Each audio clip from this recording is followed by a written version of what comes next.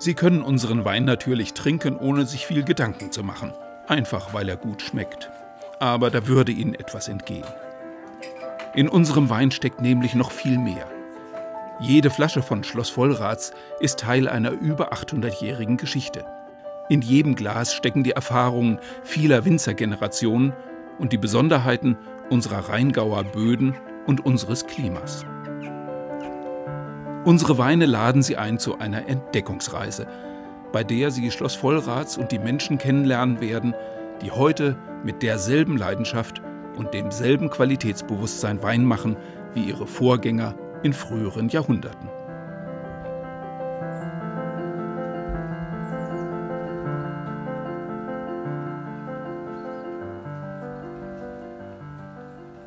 Unsere Entdeckungsreise beginnt im Frühjahr.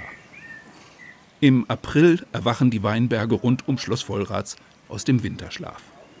Noch ist den Weinstöcken wenig anzusehen, doch es ist nun nur noch eine Frage von Tagen, bis die Knospen aufbrechen werden. Im Schloss ist alles bereit für einen neuen Jahrgang.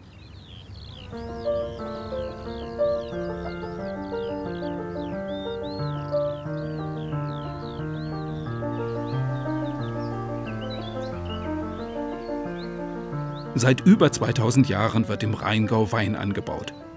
Schon die Römer erkannten, dass hier die Trauben besonders gut wachsen. In Schloss Vollrats ist der Weinbau bis zurück ins 13. Jahrhundert belegt. Schloss Vollrats gehört damit zu den ältesten Weingütern Deutschlands. Arbeitsmethoden und Technik haben sich im Laufe der Jahrhunderte laufend weiterentwickelt. Doch an unserer Passion für den Wein hat sich nichts geändert. Damals wie heute gilt unsere Leidenschaft diesem großartigen Getränk.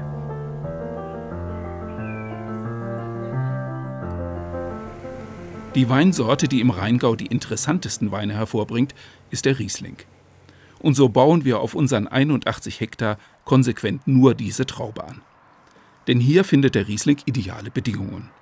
Einen geologischen Untergrund mit Quarzit, Schiefer und Lösslehm, nach Süden geneigte Hänge und das optimale Klima mit viel Sonne, aber nicht zu viel Hitze.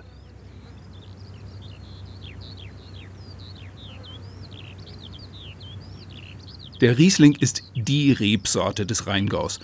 Doch Riesling ist nicht gleich Riesling. Es gibt hunderte von Varianten. Wer einen Weinberg neu bepflanzt, muss sich entscheiden. Für hohe Erträge oder einen perfekten Geschmack und feinste Aromen. Für uns ist das keine Frage. Höchste Qualität hat bei jeder Neupflanzung absoluten Vorrang. Bei der Auswahl der sogenannten Klone spielt auch der Klimawandel eine Rolle.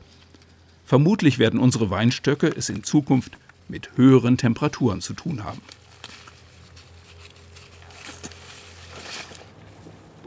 Ob sich die monatelange Arbeit im Weinberg gelohnt hat, zeigt sich im Herbst. Zunächst aber gilt es, den richtigen Zeitpunkt für den Beginn der Weinlese zu finden bisschen Grünes dabei. Das sind ja jetzt die, die goldgelben Beeren, schon ganz braune Kerne. Und kleine Kerne, die lösen sich schon gut vom Fleisch. Und bei den grünen Beeren haben wir noch ganz sulziges Beerenfleisch, haben Kerne, die noch grün sind, die noch weiter reifen können. Bevor es mit der Lese losgeht, sehen wir uns unsere Trauben sehr genau an und nehmen Proben. Jede Lage ist anders. Das sieht man jetzt deutlich, ne, dass die zwei goldgelb sind und hier ist noch, noch mehr Reifepotenzial drin. Bei manchen Trauben in dieser Lage hat bereits die sehr erwünschte Edelfäule eingesetzt. Genau. Für die Lese bedeutet das, dass wir hier sehr selektiv vorgehen müssen. Im Schloss sehen wir uns die Proben aus den Weinbergen genauer an. Je nach Reifegrad der Trauben können ganz unterschiedliche Weine entstehen, auch von Trauben aus ein und derselben Lage. Das sind die Trauben, aus denen normalerweise Qualitätsweine gemacht werden. Grün, saftig. Das sind die Trauben, die wir heute lesen wollen für ein Kabinett. Goldgelb. Aus den ganz kleinen goldgelben Beeren mit äh, schon einer sehr dunklen Beerenhaut werden die Spätlesen gemacht. Das ist die beginnende Edelfäule. Da ist zwar noch viel Saft drin, aber man sieht, dass äh, die Beere schon beginnt hier einzutrocknen. Das ist die Traube, aus der Auslese gemacht werden. Wenn sie weiter eingeschrumpft ist und fast rosinenartig, dann gibt es die Beeren auslesen. Und aus den ganz eingetrockneten, in denen fast gar kein Saft mehr, sondern eher so ein Mus noch drin ist, das sind die Trockenbeeren. damit man das vielleicht nicht nur schmeckt, wenn man die Trauben isst, sondern auch mal sieht, was es an analytischem Ergebnis hat, pressen wir jetzt die Trauben mal aus und gucken, äh, wie der Öchslegehalt, also der Zuckergehalt des Saftes ist. Wollen wir mal sehen, ob unser Eindruck im Weinberg sich auch bestätigt, wenn wir, wenn wir das nochmal messen. Ja, das sind jetzt so 82 Öchsle. 82 Grad Öchsle, das ist mehr als genug für einen Qualitätswein mit Prädikat. Doch wie sieht es mit dem Geschmack und den Aromen aus?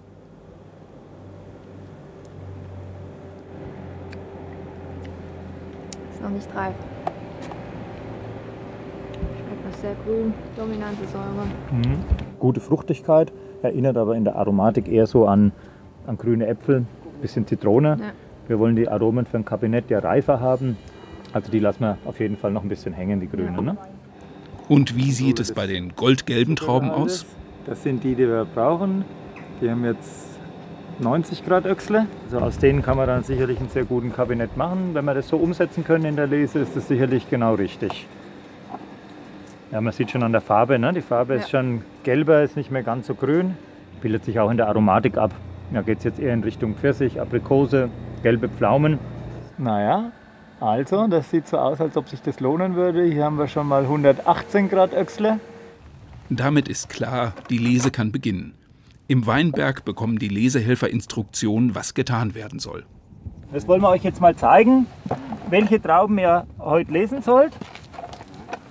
Das sind die idealen Trauben für Kabinettwein. Den wollen wir heute hier ernten. Das gibt ganz fruchtige, ausdrucksstarke, komplexe Kabinettweine. Die hier sind noch grün. Die bleiben am Stock, nicht abschneiden. Die hier auf dem Boden. Ja, die sind sehr spät verblüht, sind noch ganz sauer. Und manche Trauben haben eine beginnende Botrytis. Äh, hier zum Beispiel. Dann schneiden wir in der Mitte durch und nehmen den roten Eimer. Und danach gehen wir auf den Tisch zum Selektieren. Ja? Die im blauen, im grünen Eimer, die Hälfte in roten Eimer. Das bleibt, das auf dem Boden. Okay. Ja? Alles klar? oder Alles noch klar. Ja? Gut, okay. Auf geht's. Ja. Wir haben schon Jahre gehabt, da haben wir bis zu fünf, sechs Durchgänge durch die Trauben äh, gemacht, um immer das jeweils reifste Lesegut herauszuholen und den anderen Trauben einfach noch die Zeit zu lassen, ein bisschen nachzureifen. Wenn Sie so wollen, ernten wir unsere Trauben, wie Sie zu Hause Tomaten oder Erdbeeren ernten würden. Ja? Sie holen immer nur die reifen, die, die reifen die am intensivsten schmecken, weg. Äh, Bei uns kommt dann noch dazu, dass wir auch eine ganz konkrete Vorstellung haben, für welchen Typ von Wein wir die Trauben ähm, ausselektieren. Und ähm, das macht dann letztendlich die Handlesekräfte nicht nur unentbehrlich, sondern unglaublich wertvoll. Also da kommt uns zugute, dass unsere Handlesekräfte teilweise schon über 30 Jahre zu uns kommen. Das sind also wirklich keine Saisonarbeitskräfte, sondern das sind Facharbeiter für uns. Unsere Erntehelfer kommen aus Polen. Manche von ihnen sind mehrmals im Jahr bei uns, denn in den Weinbergen ist eigentlich immer etwas zu tun. Die Hauptsaison aber ist der Herbst. Denn für unsere Art der selektiven Lese braucht man viele Hände. machen, glaube ich, wenige so intensiv. Ähm, bei uns ist es halt so, wir bauen ausschließlich Riesling an und wollen verschiedene Geschmacksstufen, verschiedene Qualitäten aus einem Jahrgang, aus einem Weinberg, aus einer Rebsorte anbieten. Und da ist die Selektion der Trauben eigentlich das Maß der Dinge. Das ist das Mittel, äh, das wir einsetzen, um diese Vielfalt des Rieslings abzubilden. Aber es ist sehr aufwendig. Ne? Was ist schon einfach im Leben. Sehr viel schneller geht die Ernte natürlich mit dem Vollernter. Und auf einigen Lagen setzen wir den auch ein, wenn die Voraussetzungen stimmen. Der Vollernter macht nur bei einem sehr homogenen Erntegut einen Sinn. Die Trauben müssen gleichmäßig ausgereift sein oder es muss eine manuelle Vorselektion stattgefunden haben. Dann allerdings sind die Maschinen sehr nützlich. Die Technik ist inzwischen so ausgereift, dass Trauben und Pflanzen schonend behandelt werden. Wir können unsere Weinstöcke den Maschinen also getrost anvertrauen. Und manchmal löst der Vollernter für uns Probleme, die uns früher Kopfzerbrechen bereitet hätten. Wenn zum Beispiel eine Regenfront gemeldet ist, kann der Vollernter in diesem Weinberg das homogene Traubengut, das vorselektiert wurde von unseren Lesekräften, dann einsammeln.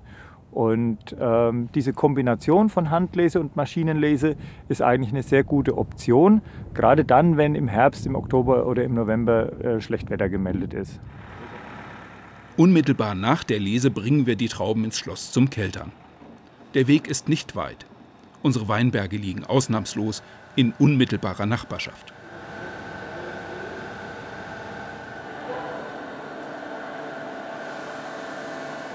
Zum Keltern haben wir zwei moderne Pressen im Einsatz, die elektronisch gesteuert die Trauben auf eine sehr schonende Weise auspressen.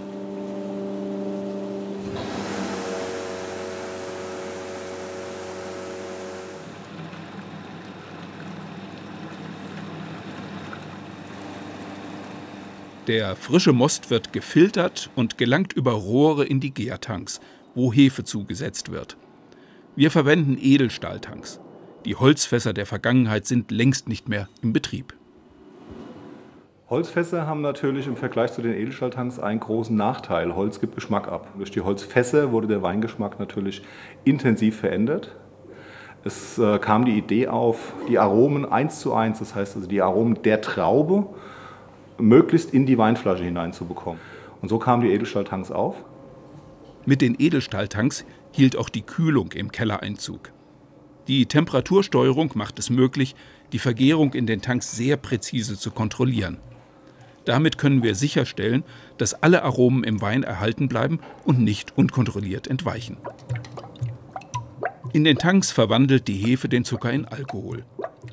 Das Gluckern der dabei entweichenden Kohlensäure ist in diesen Wochen der typische Sound des Weinkellers.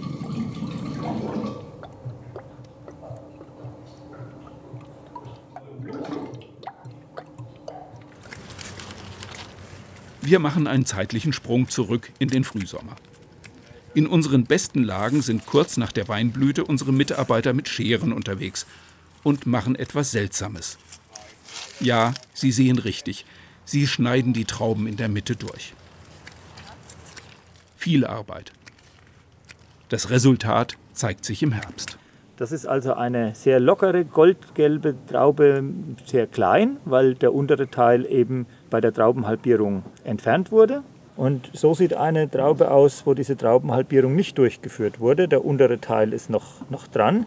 Ähm, die Farbe ist schon mal ein deutlicher Unterschied. Die Farbe ist ein Indikator für die Reife. Also das heißt, die halbierten Trauben reifen äh, sehr viel früher. Sie sind sehr viel aromatischer im Geschmack.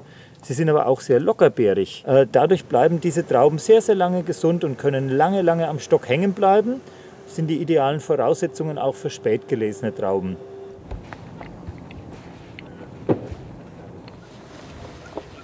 Einige Wochen später. Die ersten Nachtfröste haben die Weinberge rotbraun gefärbt.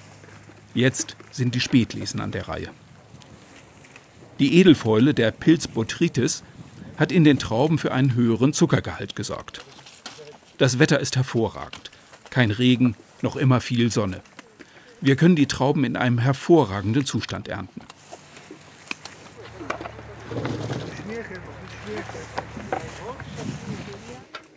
Der Zuckergehalt liegt in diesem Jahr bei rund 100 Öchsle.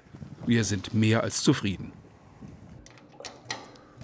Im Weinkeller kann Kellermeister Herke schon einmal die ersten Proben ziehen. Wie wird er werden, der neue Riesling von Schloss Vollrats? Ist die Gärung abgeschlossen? Hat der Wein die erhofften Aromen, die richtige Farbe? Alle Sinne sind gefragt. Auge, Nase und Ohren.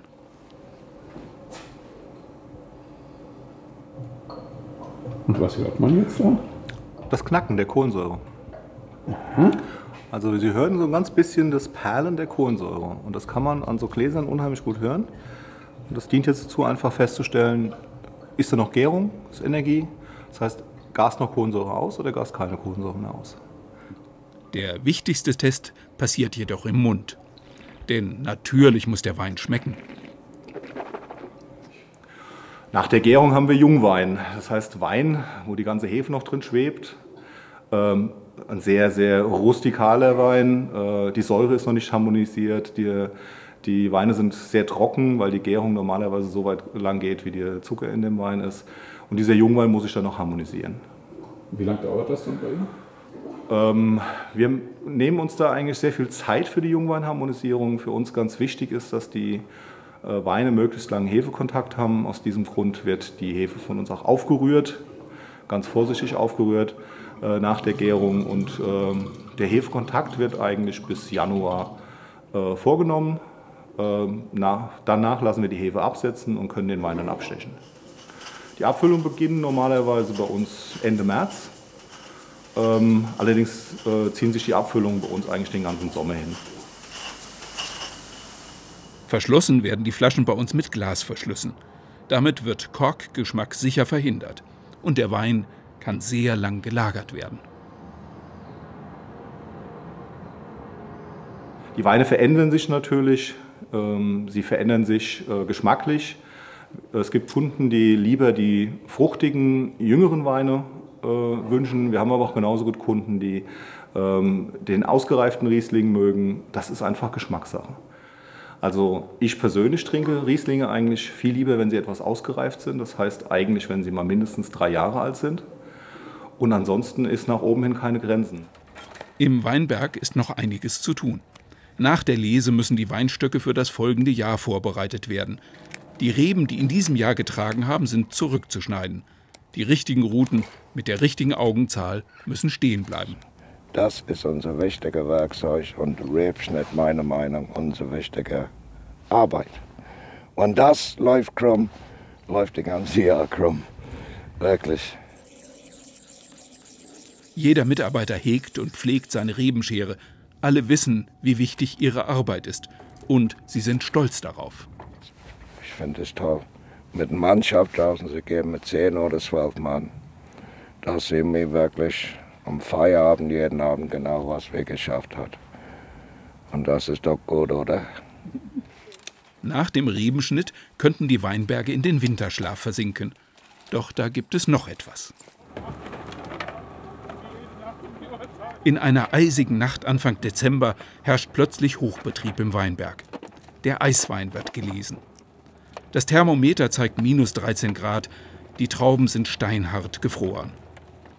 Jedes Jahr heben wir einige Reihen in unseren Weinbergen für diese Rarität auf. Denn der Wein, der aus diesen Trauben gewonnen wird, ist etwas ganz Spezielles. Da das Wasser in den Trauben gefroren ist, enthält der Most besonders viel Zucker. Und das sorgt für einen einzigartigen Geschmack. Der Eiswein ist was Besonderes. Das ist, in der Regel ist es der Endpunkt der Lese. Das ist eigentlich immer so die, der krönende Abschluss des Jahrgangs. Mhm. In manchen Jahren war es so, dass wir den Eiswein dann auch nicht abgefüllt haben, weil es uns unseren Qualitätsansprüchen nicht genügt hat. Aber äh, das ist sicherlich, denke ich, wird, wird unter die Top 5 der Eisweine der letzten 25 Jahre hier kommen. Mhm. Das ist ja auch eine logistische Herausforderung. Wie kriegen Sie denn das auf die Reihe, dass Sie alle richtig da sind? Äh, da gibt es so eine Liste, wo sich jeder Nein, freiwillig ist das nicht, wo man eingetragen wird und dann wird vorgewarnt. Da müssen alle ran. Alles eigentlich. Büro, äh, Verkauf, Keller, Außenbetrieb. Und wer dann sagt, er hat das Telefon nicht gehört, der kriegt dann auch mal geschimpft. Vor allen Dingen ein tolles Team-Event. Also wir sind heute im Prinzip alles Mitarbeiter von Schloss Vollrats, die zum Teil äh, sonst das Jahr über nicht im Weinberg arbeiten. Und für die ist es auch immer eine tolle Gelegenheit, mit den anderen Kollegen mal rauszugehen und eben gerade diesen Abschluss der Weinlese dann auch ein Stück weit zu feiern, wenn man so will. Ja? Es muss schnell gehen in dieser Nacht. Der Wetterbericht hat näher rückende Warmluft angekündigt. Das wäre fatal. Nach zweieinhalb Stunden sind über vier Tonnen gelesen und ins Kältehaus gebracht. Auch hier muss es ohne Pause weitergehen denn die gefrorenen Trauben dürfen unter keinen Umständen auftauen oder auch nur antauen.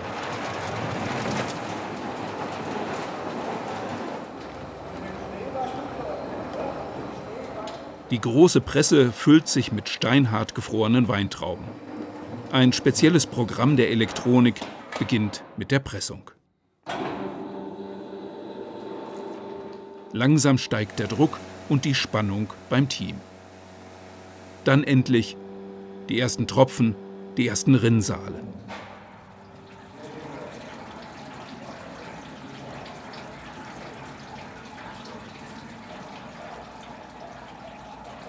Und dann die Frage, wie viel Öxle bringt der Eiswein dieses Jahr? In einem Jahr hatte unser Eiswein über 300 Öxle, der höchste je gemessene Wert. Und diesmal?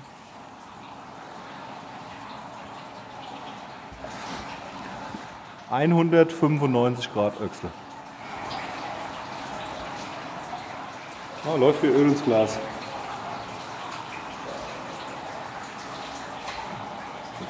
Und wie ist er? Klasse. Schöne Säure, herzhaft, ganz, ganz sauber, toll. Super Eiswein. So muss es sein. Nun endlich kann rund um Schloss Vollraths Winterruhe einkehren, bis im Frühjahr ein neuer Jahrgang unsere Mitarbeiter in die Weinberge ruft. Wie immer schon, in den letzten 800 Jahren.